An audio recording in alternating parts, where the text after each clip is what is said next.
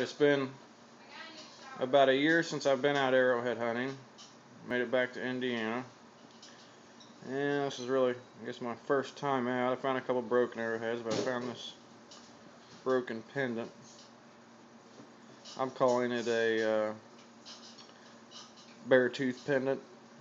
But it's a pretty good find. It's a little broken, but oh well, it's still a good find.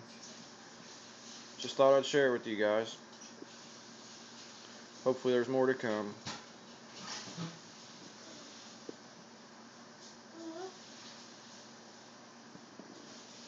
There's Lila, future arrowhead hunter.